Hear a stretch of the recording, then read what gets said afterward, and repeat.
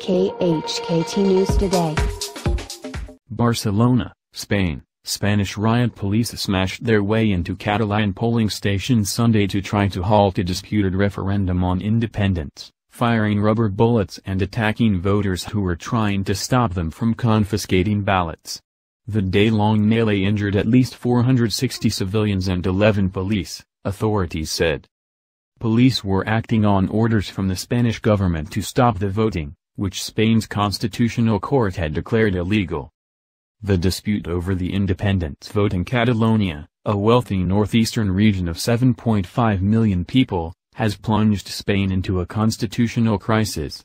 Spain's violent crackdown on the vote, videos showed police roughing up voters, appeared likely only to harden positions on both sides.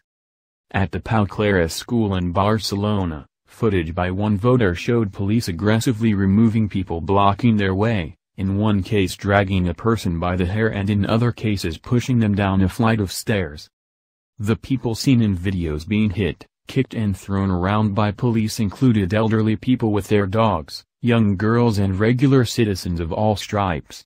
Many tried to shield themselves from being smacked on the head. Some people were screaming in fear. It's still unclear as how many of the region's 5.3 million voters were able to turn out Sunday how their votes would be counted, how many votes have confiscated already by police and what happens next if the separatist officials who run the region's government declare independence based on the vote. Spanish and Catalan officials traded blame for the chaos even as the voting continued Sunday afternoon. Police brutality will shame forever the Spanish state, independence-minded Catalan President Carles Puigdemont said as crowds cheered. Spanish Deputy Prime Minister Soraya de Santamaría said police acted with firmness and proportionality and accused the Catalan government of gross irresponsibility in staging the banned vote. There hasn't been a referendum or the semblance of one, she said. Police officers fired the rubber bullets while trying to clear protesters in Barcelona who were trying to prevent national police cars from leaving with ballot boxes confiscated from a voting center. The confrontation shows signs of escalating even though both sides had said they did not want violence. Barcelona Mayor Ada Colau says more than 460 people have been injured in Catalonia in clashes with Spanish police, some seriously. Spain's Interior Ministry said 11 police were injured in the clashes. Tensions were running so high that Barcelona played its soccer game against Las Palmas without fans at the Camp Nou Stadium. The team announced the match would be played behind closed doors with less than a half hour to kick off, with thousands of soccer fans already outside the stadium. Barcelona wanted to postpone the game but said the Spanish league refused the request.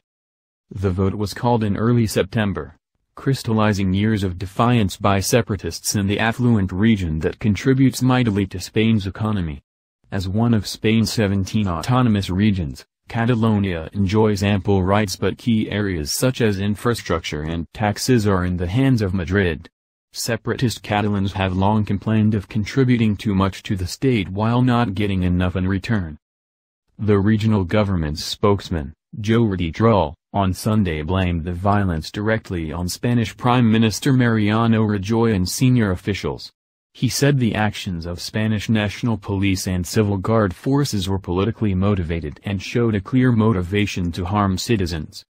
Catalan Foreign Affairs Chief Raúl Romeva said they will ask the European Union to act against Spain for the police action.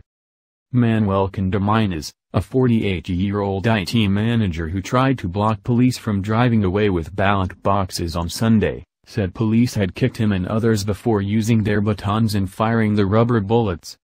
Elsewhere, civil guard officers, wearing helmets and carrying shields, used a hammer to break the glass of the front door and a lock cutter to break into the Sant Julià de Ramis sports center near the city of Girona. At least one woman was injured outside the building, wheeled away on a stretcher by paramedics. Clashes broke out less than an hour after polls opened and not long before Catalonia Regional President Carles Puigdemont was expected to turn up to vote at the sports center. Polling station workers reacted peacefully and broke out into songs and chants challenging the officers' presence. Puigdemont was forced to vote in Cornellà de Terri, near the northern city of Girona, his spokesman told the Associated Press. Police had sealed off many voting centers in the hours before the vote to prevent their use. Others were filled with activists determined to hold their ground. Spanish riot police forcefully removed a few hundred would-be voters from a polling station at a school in Barcelona. The scene was repeated at other locations, although voting was peaceful in some spots. Daniel Riano, 54, was inside when the police pushed aside a large group gathered outside busted in the Estela school's front door. We were waiting inside to vote when the national police used force to enter, they used a mace to break in the glass door and they took everything, he said. One policeman put me in a headlock to drag me out while I was holding my wife's hand. It was incredible. They didn't give any warning. Joaquin Bosch, a 73-year-old retiree at Princep de Viana High School, was uneasy about a possible police response to the crowds. I have come to vote to defend the rights of my country, which is Catalonia, Bosch said. I vote because of the mistreatment of Catalonia by Spain for many years. Before dawn, reporters with the Associated Press saw ballot boxes wrapped in plastic bags being carried into some of the polling stations in Barcelona occupied by parents and activists. The plastic ballot boxes, bearing the seal of the Catalan regional government, were placed on tables, prompting cheers from hopeful voters who had gathered in schools before dawn. Courts and police have been cracking down for days to halt the vote confiscating 10 million paper ballots and arresting key officials involved in the preparations. On Saturday, Civil Guard agents dismantled the communications systems used to connect voting stations, count the votes and vote online. That prompted the Spanish government to announce that holding the referendum Sunday would be impossible.